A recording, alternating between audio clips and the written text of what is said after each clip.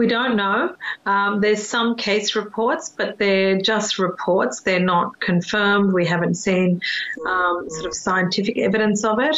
One of the key questions related to that is whether or not um, the immunity um, that you get after being infected is strong enough and lasts long enough.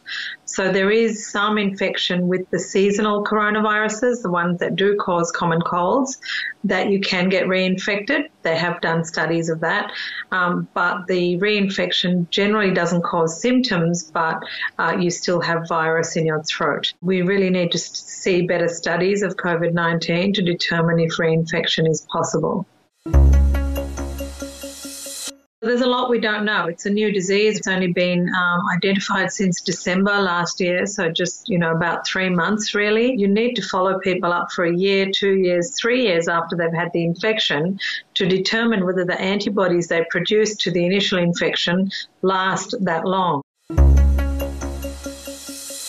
We think um, from the available evidence, this, this, virus probably lasts anywhere from four to six days, possibly as long as nine days on the surfaces. Anyone who's got the infection could cough and, you know, um, leave surfaces like uh, grab handles in the bus or a table or chairs or anything else that you might frequently touch, elevator buttons, door handles.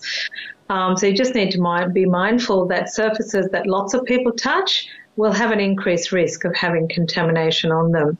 And if you're meticulous with your hand hygiene uh, and make sure you avoid touching your face until you've had a chance to wash your hands, um, that will reduce the risk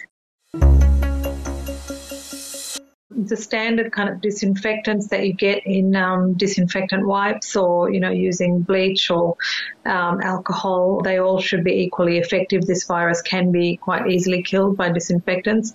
So just giving a thorough wipe over of the surfaces should um, help.